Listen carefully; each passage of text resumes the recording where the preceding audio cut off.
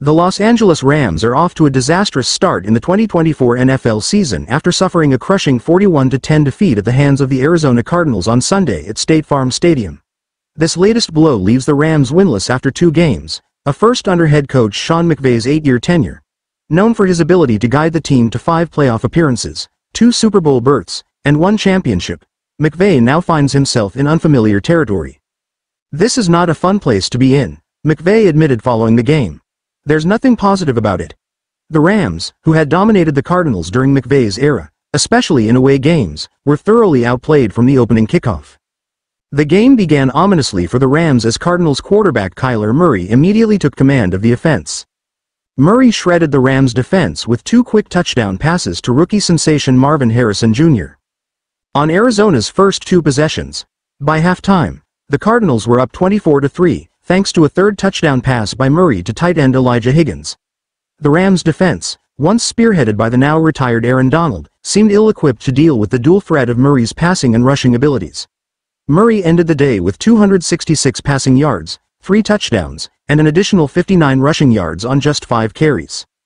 It sucks, admitted Rams rookie edge rusher Jared Verse, the team's first-round draft pick, who struggled to contain Murray. You got it right there, a couple of times you got in his face and everything like that, frustrating him, but he's one of those running quarterbacks that can kill you with his feet. James Conner added to the Rams' woes, rushing for 122 yards and a touchdown on 21 carries. By the time Conner extended Arizona's lead to 31-3 with a short third-quarter touchdown run, the game was well out of reach for the Rams. Meanwhile, the Rams' offense sputtered throughout the game, managing only a second-quarter field goal and a third-quarter touchdown after the contest was already decided.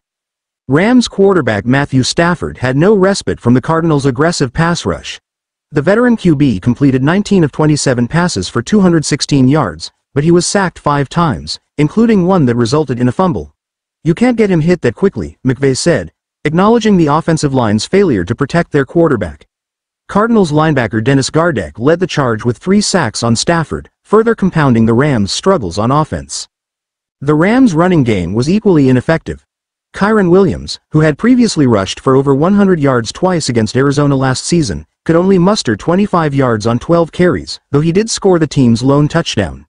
The absence of key offensive linemen Steve Avila and Joe Noteboom, both on injured reserve, was evident, as the Rams could not establish a rhythm on the ground or give Stafford the protection he needed in the passing game.